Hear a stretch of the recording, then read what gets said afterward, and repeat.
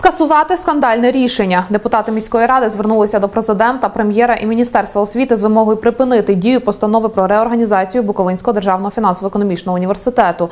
Нагадаємо, заклад із 70-літньою історією намагаються приєднати до чину імені Юрія Федьковича. Про те, що на це сказали ініціатори змін освіти і як відбувалося голосування, розповість Павло Монахов. Де ви бачили в світі, що до факультету приєднували університет? Ректор БДФУ, який присвятив цьому навчальному закладу чверть століття, обурюється тим, як з легкої руки уряду було вирішено реорганізувати виш, створений ще у 1944 році. Нам Йосиф Главка не дав нічого. Ми все побудували своїми руками. Прийдіть і подивіться. Знищити набагато легше, чим створити. Напередодні студенти БДФУ влаштували мирний пікет проти злиття з національним університетом.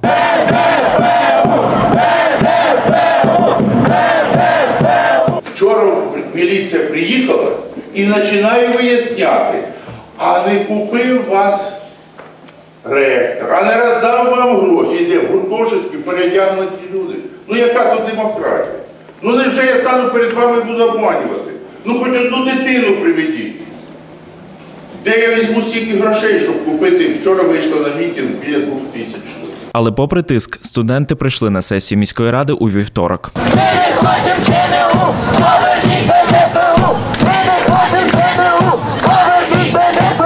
Аби розібратися у ситуації, на сесію запросили представника міністерства освіти. Олег Шаров запевнив, що студенти-державники продовжать навчання у ЧНУ на місцях держзамовлення. І якщо ця вартість контракту менше за вартість контракту в Чернівецькому національному університеті імені Федьковича, будуть навчатися там за контрактом на тих умовах, на яких вони уклали контракт в Буковинському державному фінансово-економічному університеті. Контрактники апелюють, що після закінчення четвертого курсу будуть змушені укладати нову угоду з ЧНУ, а там вже інші розцінки. Студенти-правники четвертого курсу, які зараз закінчують навчання. У нас за магістратуру вони мали б заплатити 10 тисяч гривень. У них вони заплатять цілих 18. Будь ласка. Через емоції протестувальників багато запитань залишилося без відповіді. Присутні неодноразово висловлювали обурення виступом представника міністерства освіти. Свою оцінку подіям довкола БДФУ дали й депутати міськради. На моє переконання, відбувається просто рейдерське захоплення одного з вузів Чернівців. Народні обранці кажуть, спершу міністерству варто було б хоча б повідомити про свої наміри щодо вишу, в якому навчається майже три тисячі студентів. а не приймати все зруба, не перехиляти людей через коліно, бо ми так схотіли, бо ми так зробимо. Не буде цього. Не той час, шановні. Втім, представник Міносвіти таку реорганізацію БДФУ називає легітимною, адже Кабмін ухвалив цю постанову у відповідності до закону України про вищу освіту.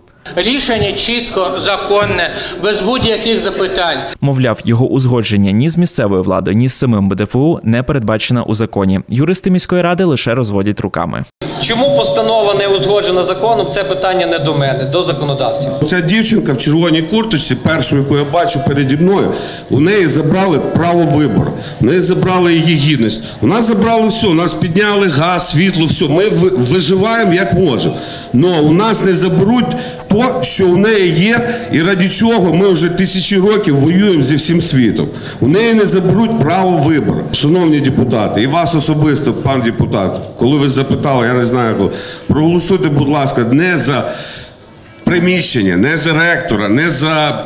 Проголосуйте за цю дівчинку в цій червоній куртці. Я вас дуже прошу, будь ласка. Заслухавши думки сторін, депутати підтримали звернення до президента, прем'єр-міністра і міністерства освіти з вимогою негайно скасувати рішення Кабміну про реорганізацію БДФУ.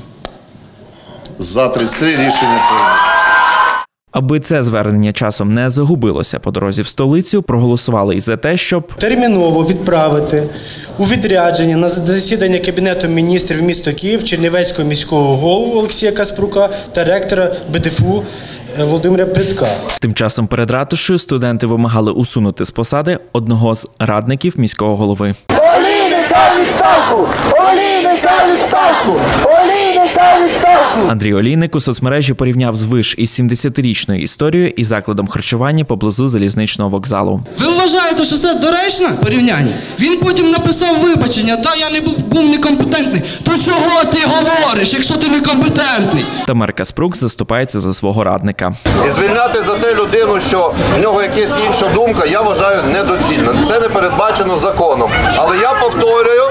야법 보래요? А ректор БДФУ в свою чергу подякував студентам за позицію і закликав продовжувати боротьбу. Перемога це не моя, це ваша. І давайте не боятися нічого, робити те, що треба.